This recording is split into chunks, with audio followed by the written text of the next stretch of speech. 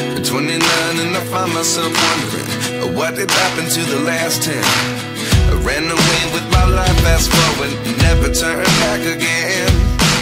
Quý vị và các bạn đang theo dõi kênh News 247. Bây giờ xin được chuyển sang những thông tin đáng chú ý. Phim Tết của Trấn Thành vi phạm luật quảng cáo. Cơ quan chức năng xác định ekip phát hành Mai phim đầu tư 50 tỷ đồng của Trấn Thành vi phạm luật quảng cáo trên xe buýt. Hôm 23 tháng 1, fanpage Trấn Thành đăng hình ảnh một xe khách dán trang trí toàn thân xe, gồm mặt trước lẫn mặt sau, quảng cáo nội dung phim Mai, một bộ phim của Trấn Thành, phát vào mùng 1 Tết năm 2024. Phương tiện được ghi nhận xuất hiện ở một số tuyến đường tại thành phố Hồ Chí Minh. Tuy nhiên sau một ngày, fanpage của diễn viên xóa các hình ảnh trên.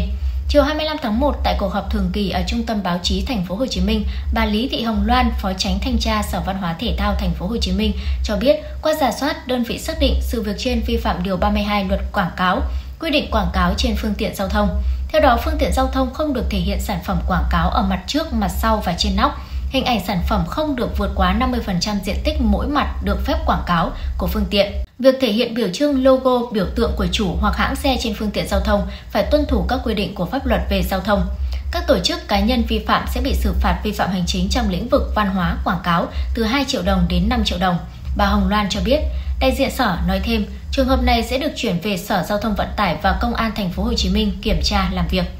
Diễn viên Trấn Thành chưa lên tiếng về sự việc, đại diện CJ, đơn vị phát hành và quảng bá phim cho biết đã nắm được thông tin và sẽ đưa ra phản hồi sau. Mai là một trong bốn phim Việt ra dạp dịp Tết Giáp Thìn, được chấn Thành ấp ủ suốt 3 năm. Phim xoay quanh Mai do Phương Anh Đào thủ vai, một phụ nữ gần 40 tuổi chuyển đến sống ở một khu chung cư cũ, chịu sự đố kỵ của những người hàng xóm. Tình cờ Mai gặp chàng nhạc công Dương do Tuấn Trần thủ vai, kém cô 7 tuổi và được anh săn đón.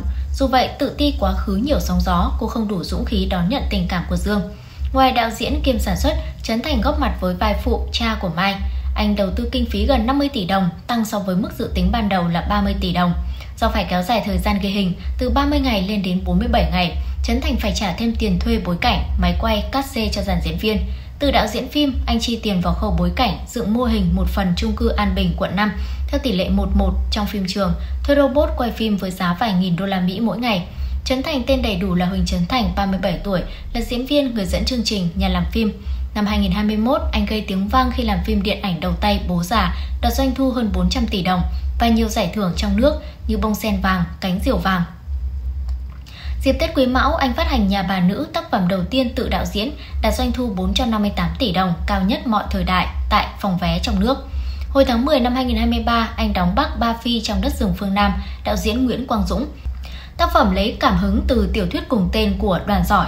Những thông tin này cũng đã khép lại bản tin hôm nay của chúng tôi. Quý vị hãy like, share và subscribe kênh News 247 để liên tục được cập nhật những thông tin thời sự mới nhất trong nước và quốc tế. Còn bây giờ xin chào tạm biệt và hẹn gặp lại quý vị và các bạn trong những bản tin tiếp theo.